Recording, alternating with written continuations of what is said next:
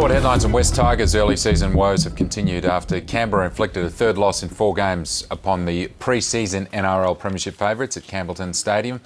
The Raiders won 30 to 16 in the end, their first victory in eight matches against the Tigers. Jarrod Croker scored two tries, and skipper Terry Campese was more influential than his opposite number, Benji Marshall. Campese was playing his 100th NRL game for his side, which was missing fullback Josh Dugan and influential back rower Shaun Fensom. To tennis, and Serena Williams has beaten Sam Stosur in Miami. In that tournament there, uh, Stosur had a break up in the first set but was unable to take advantage of that. Williams came back and won at 7-5. And Stosur broke again in the second set, but the breakback was on pretty soon and Serena won 6-3 in the second set. So Sam Stosur is out of that tournament.